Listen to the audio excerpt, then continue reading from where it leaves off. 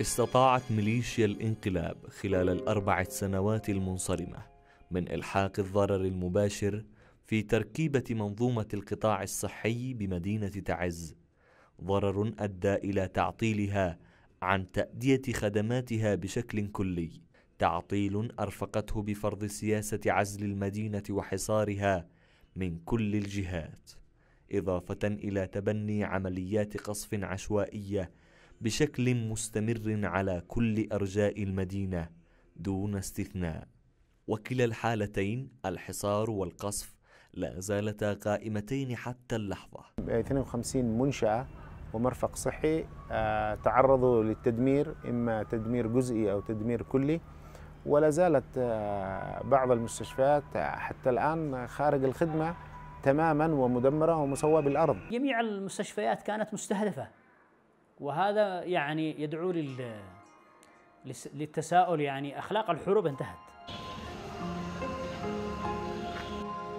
نالت المراكز والأقسام المتخصصة بمعالجة أصحاب الأمراض المزمنة النصيب الأوفر من العبث والتدمير الذي انتهجتهما الميليشيا في هذه المدينة ابتداء بمركز معالجة الأورام في حي النقطة الرابعة ومركز الدرن في حي الثورة وانتهاء بمراكز الغسيل الكلوي الذي كان القصف يطالهم بشكل يومي مما تسبب في تلف وحرق كل التجهيزات والتي من أهمها مركز الغسيل الكلوي في المستشفى الجمهوري ومركز الغسيل في مستشفى الثورة ومركز الغسيل في المستشفى العسكري الذي أحرق تماما. المراكز التي تقدم خدماتها للأمراض المزمنة وخاصة زارعي الأعضاء زارعي الكلى آه، أمراض آه، لوكيميا الدم سرطان الدم أمراض آه، الفشل الكلوي. هؤلاء أكثر فئة في القطاع الصحي عانوا من ويلات هذا الحصار وتدمير البنية التحتية للقطاع الصحي. المستشفيات كلها استهدفت يعني مستشفى السويدي للأطفال دمر تدمير غير عادي أثناء ما كان متواجدة الميليشيا هناك. بل استخدمت متارس من فوق المبنى. آه، قسم ال ال ال الأورام أو المركز الأمل للأورام يعني. دمر وتم إعادة تأهيله من جديد تعرفون يعني. مستشفى الثورة استهدفت العمليات استهدفت آه، جميع الأقسام. آه، الجمهوري أيضا لم يسلم من هذه الأمور. مكتب الصحة نفسه ومخازنه العامة ومركز مكافحة السل والدرن في المحافظة. أتت عليه عملية النهب تماما لم يتبقى منه حتى بلاط الأرضيات. آه، البنية التحتية تعرضت إلى آه، اهتزاز شديد جدا إما بفعل الحرب أو بفعل النهب. مركز السل تعرض لنكسة كبيرة أثناء الحرب حيث خرجت بنيته التحتية تماما عن الخدمة. وأصبحنا الآن يعني نعمل بصورة ذاتية وتقدر تقول على أنه عملنا أصبح سفري يعني متنقل من مكان إلى آخر. قسم الغسيل الكلوي. القسم هذا الذي يؤدي خدمة إنسانية كبيرة جدا للمرضى. يعني كان عدد المترددين على القسم 2261 مريض يغسلوا فاحترق القسم بالكامل وراحت الأجهزة كاملة وكثير من الأمراض المرضى الذين كانوا يترددون على القسم آه، ما وجدوا أي مكان يغسلوا فيه أو نتيجة الاكتظاظ الموجود بالثورة والجمهوري آه، توفى معظمهم.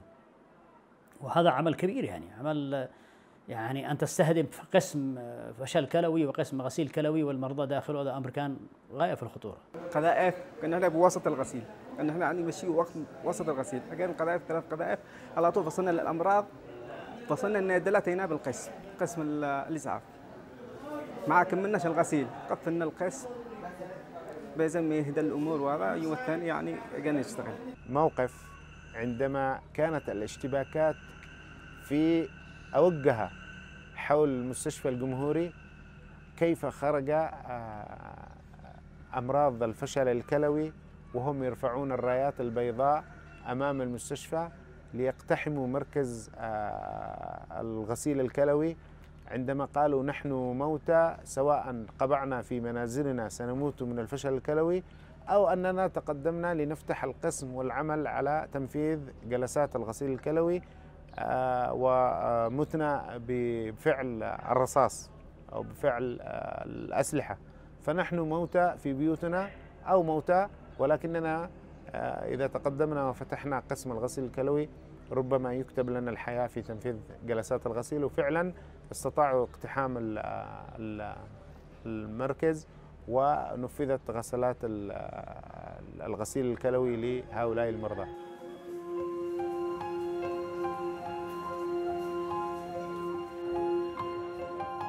أنموذج من قصص معاناة أصحاب الأمراض المزمنة استقيناه من مركز الغسيل الكلوي في مستشفى الجمهوري. بندر ووفاء كلاهما مصابان بالفشل الكلوي. عاشا خلال الأحداث تفاصيل قصة من المعاناة والألم. قصة تلخص مدى الجرم الذي اقترفته الميليشيا بحق مرضى هذا القسم الذي يعني توقفه الموت لا سواه. تعب سفر وزي كذا لأنه أنا أجي من داخل الخلود كنت أسافر للقرية. ما عندي أحد كان هنا بالمدينة جالس أو زي كذا جلس عنده. كنت أروح للبلاد وارجع لهنا للغسيل. يعني بتاعتنا قاعد كنت ادخل من شرعب من شرعب للعسكري. كان الخط مقطوع علينا.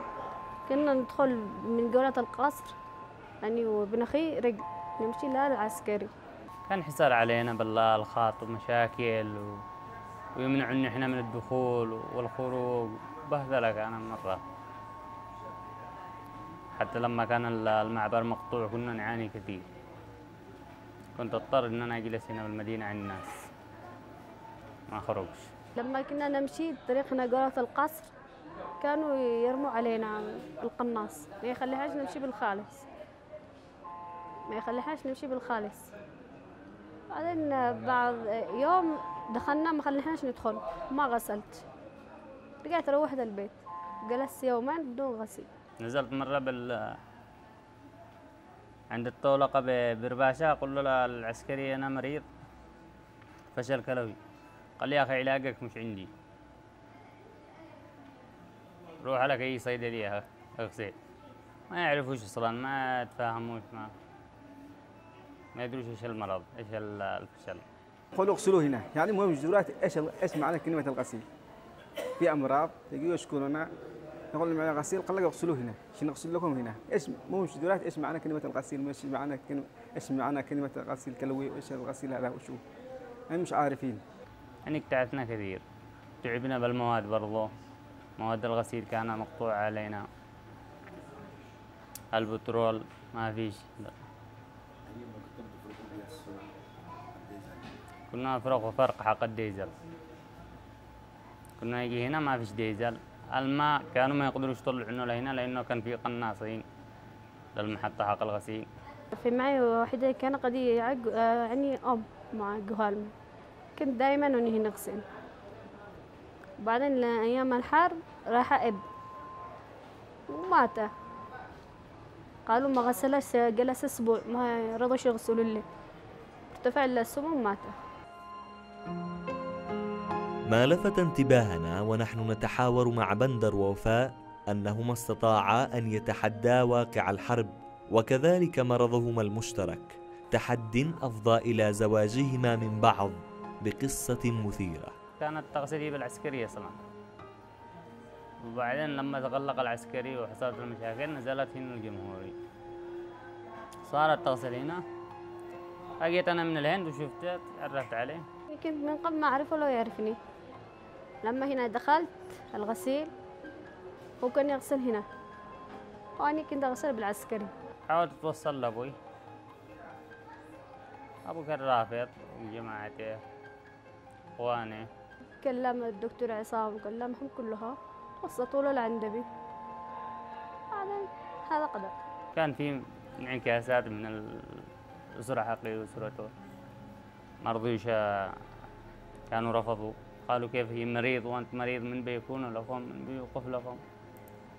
قلنا الله بيكون معنا إن شاء الله يصبر الأمور.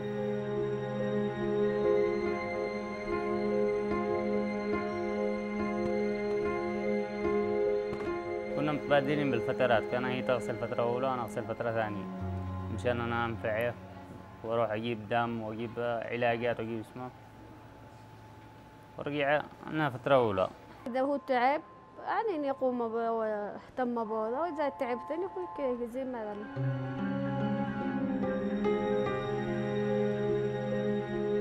شكل آخر من أشكال التدمير والانتقام الذي مارسته الميليشيا الإنقلابية في هذه المدينة.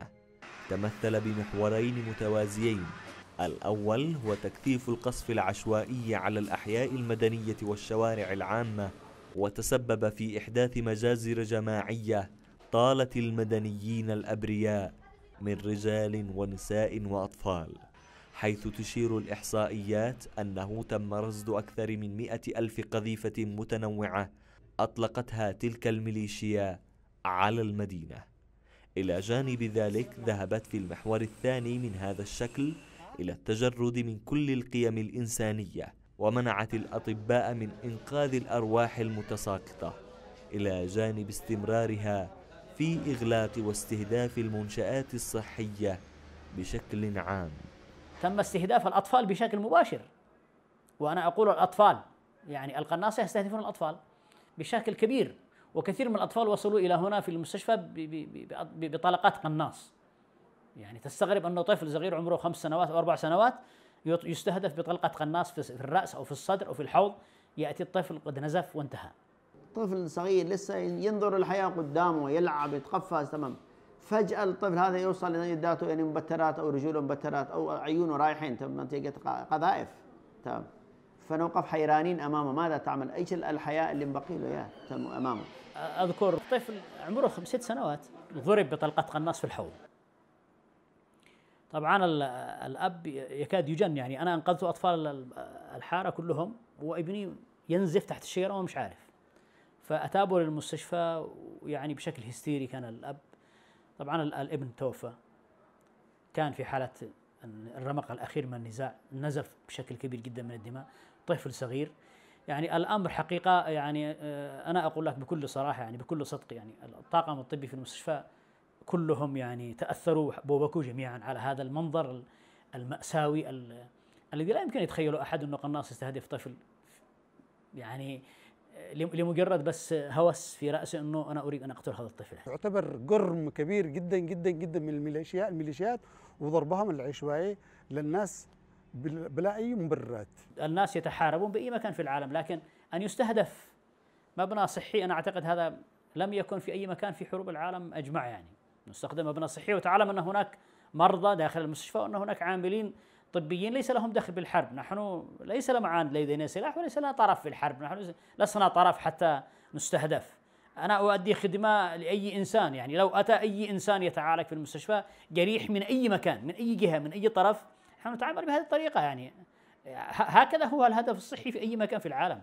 أنه أنا كمستشفى أؤدي خدمة لأي إنسان يصل يحتاج إلى خدمة. لا أنظر إلى شخصيته ولا إلى آه، دينه ولا إلى مذهبه ولا إلى من أين يأتي ولا من أي معركة أتى. أنا أتعامل معه كإنسان كبشر.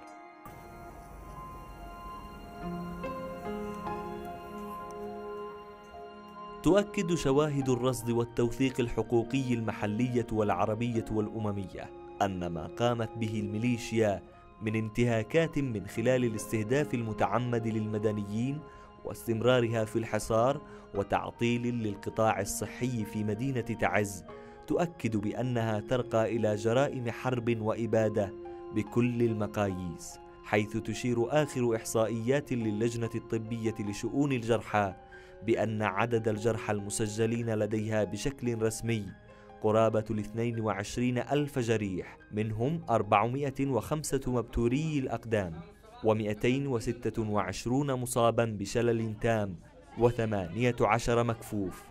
فيما القتلى يتراوح أعدادهم ما بين ثلاثة آلاف وخمسمائة وأربعة آلاف شهيد وشهيدة. أكثر فئة تعرضوا للقذائف للأسف الشديد هم أو الشباب والأطفال والنساء. أطفال ونساء يعني أغلب المشلولين من الأطفال. أغلب المشلولين من المبتورين من النساء بسبب الألغام. يعني الشقب كم فيها مبتورين؟ أغلب المبتورين من جبهة ألغام. يعني يروح راعي الغنم يرعي تبتر أقدامه الثنتين يعني وفي ناس مبتور الاطراف الأربعة بسبب الألغام الملعونة هذه التي زرعت بشكل يعني فظيع جدا داخل مدينة تعز وحوالي مدينة تعز. كم يموتها؟ مو كم يموتها كم الذي قبل نشرهم نشرهم من شرعاب من قبل حبشي من صبر من يا شيء ذاك هي موتى؟ هذه الحرب خلفت اعاقات كبيرة جدا. هذه الاعاقات نحن الآن في ظل الحرب الآن وظل الصدمة لا زال لازلنا لا نفكر في هذه الاعاقات لم نستوعب الصدمة. أنا أعتقد عندما تتوقف الحرب هذه هنا بتكون المشكلة والكارثة الكبيرة جدا إذا لم يكن هناك خطوات ومراكز تأهيل لهؤلاء الناس اللي موجود اللي فقدوا يعني أعز الناس هم فقدوا ابائهم الأسر فقدت العائل الأساسي للأسرة. ولم يوجدها داعم. الجرحى الآن والذين سقطوا في سواء كان الآن في من مدنيين وعسكريين. هذول الآن لا زالوا الآن جريح بعد جريح. أنا أتوقع إنه يوصل الأب يشوف أولاده كلهم اثنين ثلاثة أو أطفاله ميتين.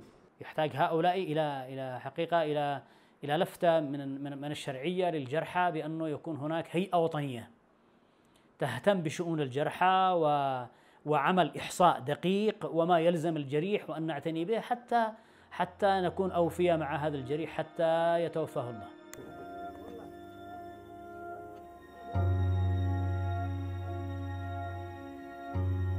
لم يقف حدود الضرر الذي أحدثته الميليشيا الانقلابية في القطاع الصحي عند حد الاستهداف والتوقيف بل تعدى إلى أن يرمي بتبعاته على المرافق والأنشطة المرتبطة به بشكل مباشر أو غير مباشر.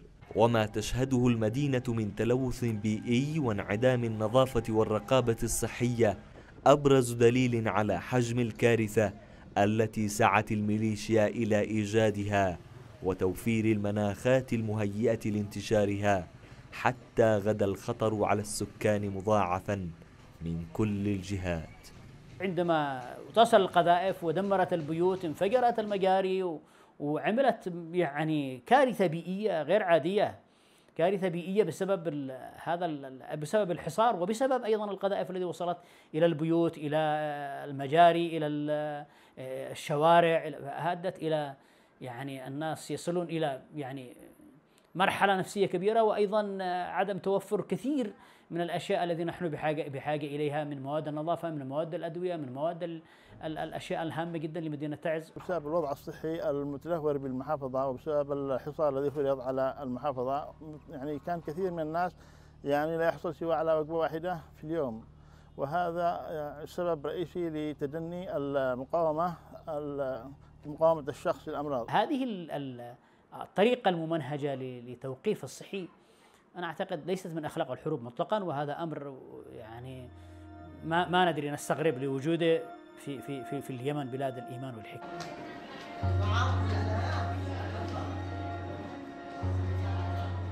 تطور خطير ظهر خلال الفترة الأخيرة في هذه المدينة تمثل بانتشار الأوبئة والفيروسات بشكل لم تشهده على مر التاريخ الإمكانيات البسيطة المتوفرة في المستشفيات التي حاولت لملمة بقاياها وقفت عاجزة عن التصنيف الدقيق لها وترجح الآراء المتخصصة في هذا المجال الطبي أن حرب الميليشيا ومخلفات قذائفها واستمرارها في الحصار هي الأسباب الحقيقية لانتشار تلك الفيروسات والأوبئة القاتلة.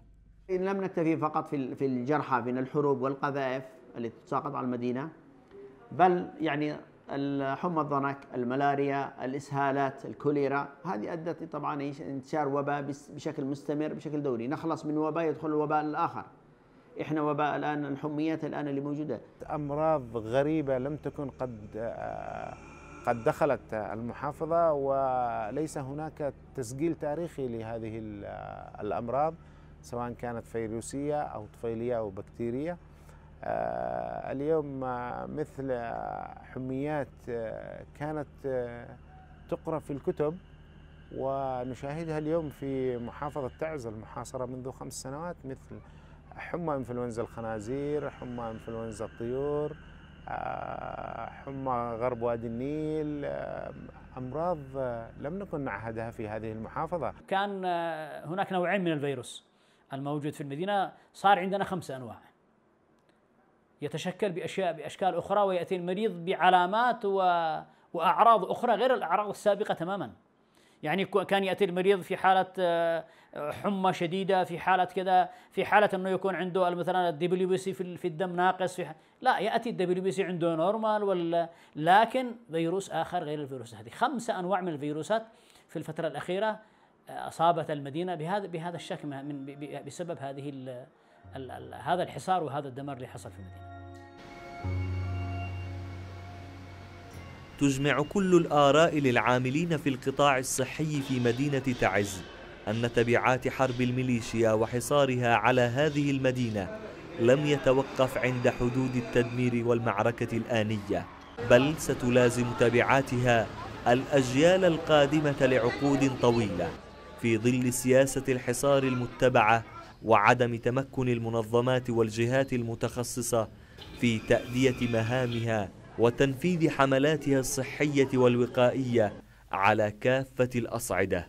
ستظهر آثاره بعد عقود من الزمن واليوم تتكشف لنا آه، حجم الجريمة يوما بعد يوم.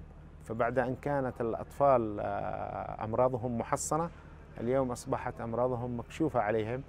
آه، نتيجة لما آه، حصل من حصار آه، للتطعيم كل الأمراض هذه ظهرت يعني نتيجة للحصار ولسوء لسوء الوضع الصحي أو لل لقلة الإمكانيات الموجودة في لدى لدى المكتب الصحه في المحافظة. أقسام الطوارئ التوليدية آه، أنجبت لنا ال- ال- العديد من الإعاقات آه، اليوم إذا قلت أن آه، في المحافظة كلها قسمين فقط للطوارئ التوليدية الشاملة آه، قد يستغرب البعض هذه المحافظة الأكبر في آه، الجمهورية وذات الخمسة ملايين آه، مواطن يوجد بها فقط آه، قسمين للطوارئ التوليدية الشاملة. هذا بالإضافة إلى النقص الشديد في أدوات التوليد مثل الأكسجين والحاضنات حاضنات الأطفال. آه، ال- الحصار أدى إلى أن ال- الوليد آه، يدار به داخل المدينة آه، من مستشفى إلى آخر بحثا عن حاضنة وتزويده بالأكسجين. وبالتالي فإن هذا سينتج لنا جيل معاق ذهنيا في في المستقبل. صارت في هناك أيضا تشوهات موجودة عند الأطفال الولادة اللي يخلقوا الآن بشكل كبير. نتيجة أيضا لهذه المواد السامة التي تنفذ من القذائف التي نزلت على المدينة. تخيل مئة ألف قذيفة تنزل على مدينة. يعني قطرها سبعة كيلو أو ثمانية كيلو تنزل هذه القذائف على المدينة. سببت يعني الآن في أشياء congenital abnormality كما يسمى في الطب كثيرة موجودة عند الولادة نصف الكوب الفارغ سيظهر بعد سنوات. اليوم الأمراض القاتلة للطفولة والقابلة للتمنيع بدأت تتكشف مؤشرات صحية خطيرة جدا. ذلك لأن الميليشيات عملت على عدم آه، إيصال آه، اللقاحات وعدم تنفيذ حملات التطعيم الموسع في مديرية المحافظة المحاصرة بالكامل.